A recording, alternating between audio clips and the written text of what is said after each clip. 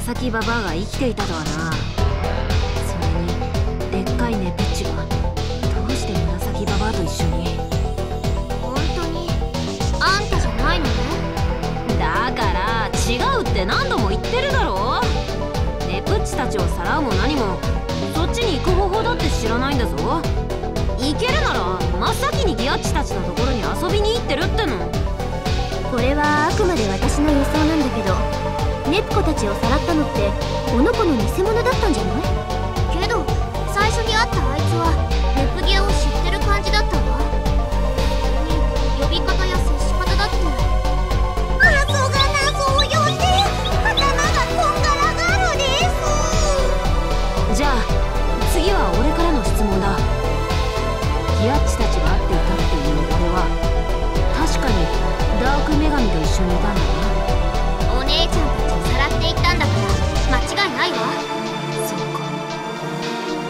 やっぱダーク女神が再び現れたってのは見間違いなんかじゃなかった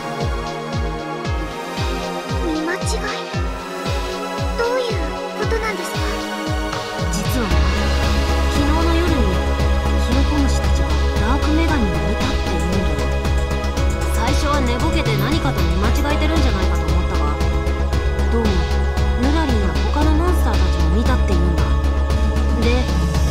してたら海男がギアッチたちを見かけたっていうから会いに来たところで現在に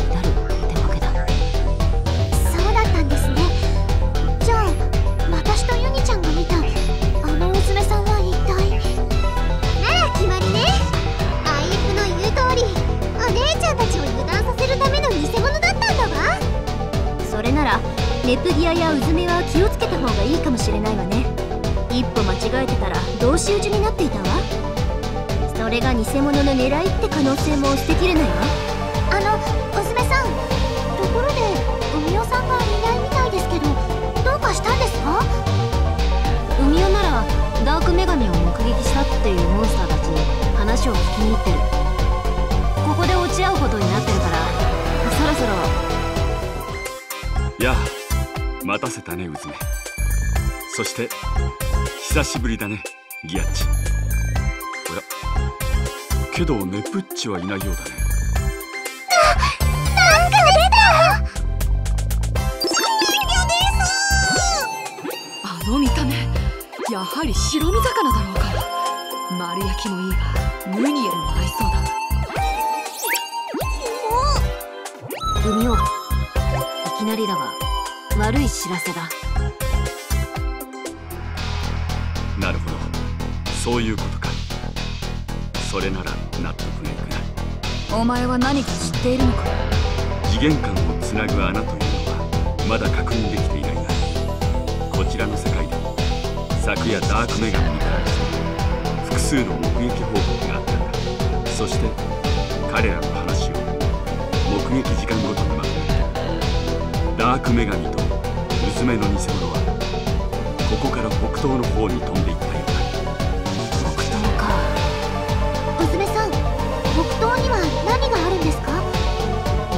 あるどころかあそこには何もないぞ。地面も大地も消えてあるのは虚空だけ。でもどうしてそんなところに？もしかしたらこの一件は例の現象と関連性があるかもしれない。俺たちを同行させてもらおう。もちろん花からそのつもりだ。ネプッチがこっちの世界にさらわれたってなら借りを返す絶好の機会だからなそういうことだギアッチ同行させてもらうぜ。ありがとうございます。こっちの世界はまだわからないことが多いので娘さんが一緒に来てくれるだけで心強いです。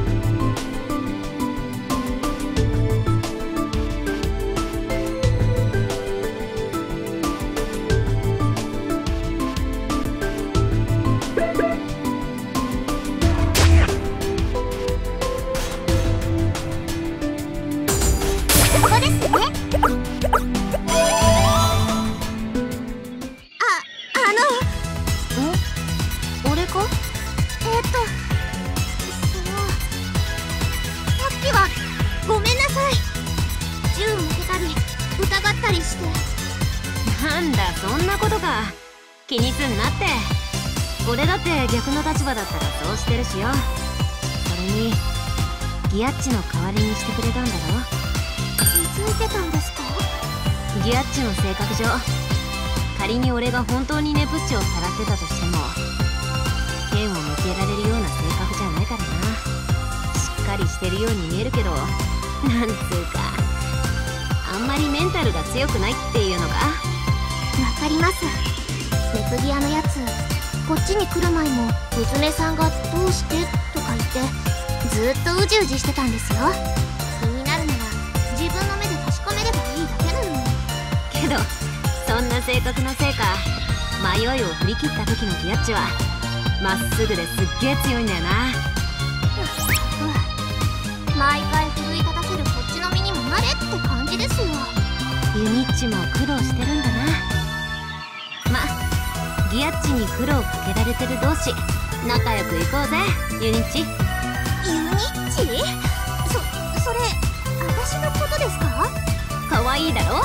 友情の証だ。あそれとユニッチは俺に対して敬語は禁止でこれからタメ口な。どうしてですか？うーん。それが手っ取り早くユニッチと仲良くなれそうだからかな。ギアッチにはタメ口な分。そのつもりはなくても距離感じるんだよ。それに別に俺はそっちの世界の女神じゃないんだし。女神とか候補生とか関係なしに。仲良くしようぜわかりまわかったわ。時々ぎこちなくなるかもしれないけどこれからはネプギア同様タメ口で話させてもらうわ。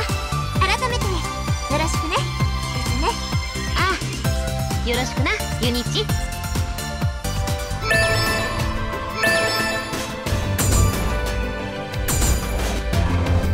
出発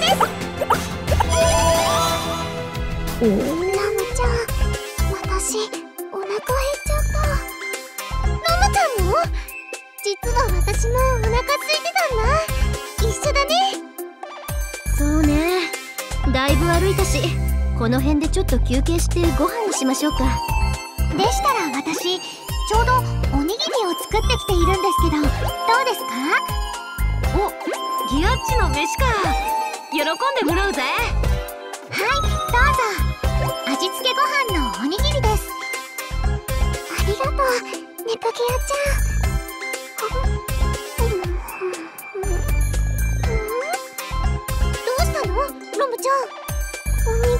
中にしいたけしいたけあっぶねえ。食うところだったぜ。ロムちゃんしいたけ嫌いだもんね。けどこのおにぎりのしいたけ味が染みてて美味しいわよ。でもしいたけ嫌い。好き嫌いはダメだよロムちゃん。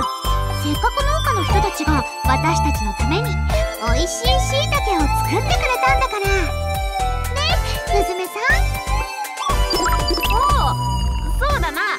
農家の人のためにも好き嫌いは良くないよな。好き嫌いしてるとうずめさんみたいにかっこよくなれないよ。もちろんかっこいいうずめさんはしいたけが食べられますもんね。ギアッチ測りやがったな。うずめちゃんしいたけ食べれるの？聞くまでもないわよロムちゃん。うずめに好き嫌いなんてあるわけないじゃない。だって好き嫌いなんてかっこ悪いじゃない。ああ俺には好き嫌いなんてないね。なんてったって？かっこいいからな。じゃあ食べてみてちょっと今日は腹の調子が悪いっていうかその。やっぱり嫌いな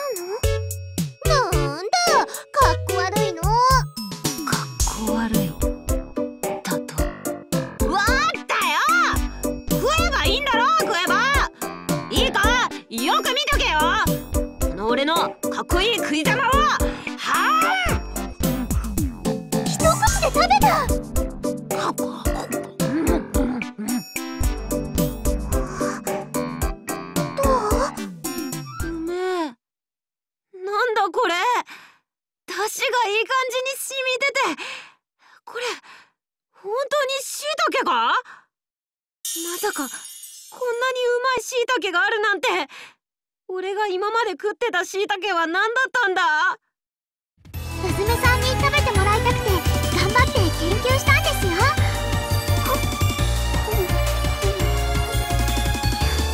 本当だ美味しい。やったねロムちゃんしいたけ克服よ。うずめもしいたけ克服だな。ああまた一段と俺のかっこよさに磨きがかかってしまったぜ。作戦成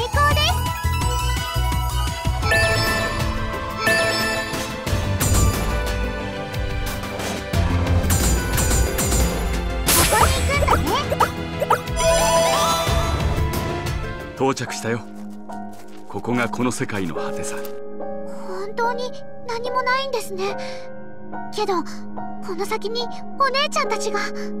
けどどうやって進むの？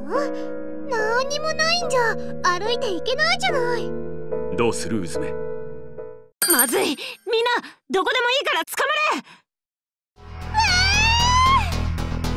なんなのよこの揺れは。すご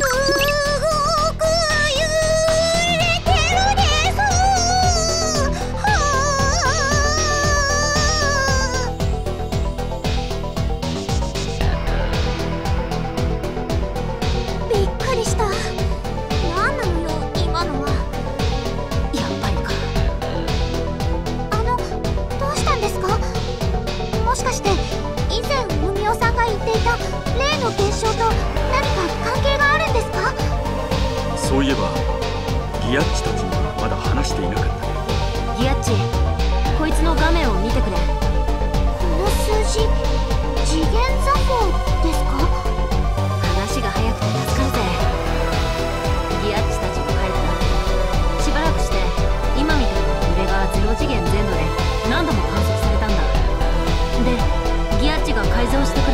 れたこいつで片っ端から原因を調べていったらわずかだがこの数字が動いていることに気づいたんだ。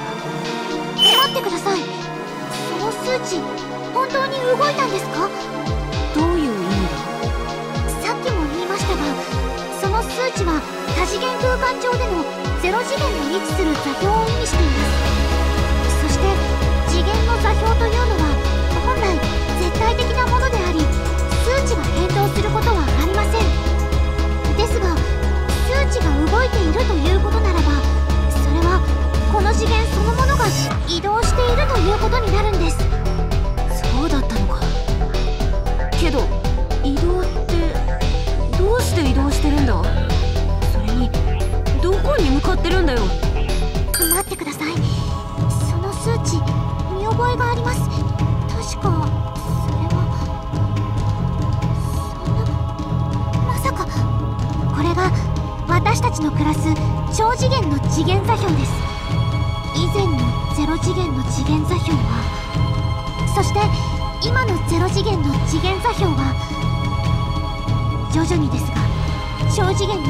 づいているんです。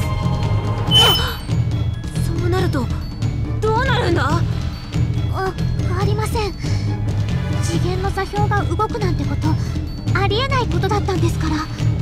けど動いてるんだよな。ゼロ次元に何が起こってるんだ？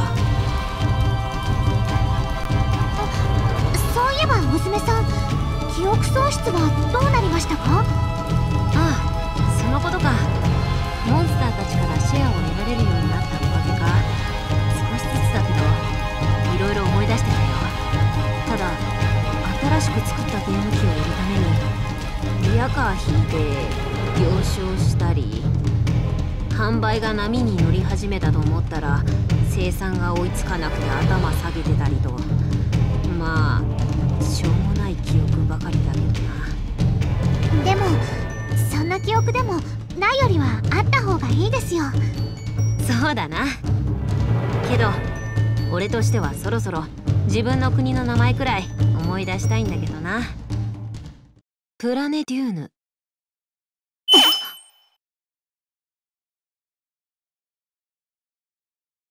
プラネデューヌ。それがお前のいや俺の国の名前だ。その姿俺なのか？ヤッホーネプギアまた会ったね。元気してた？お姉ちゃん？やあはじめまして。俺こうして会うのは初めてだね。てめえが誰か知らねえがそいつはギアッチの国の名前だ。騙されねえぞ。そんなことは当たり前さ俺の国の延長線上にギアッチの国があるんだからさ。どういう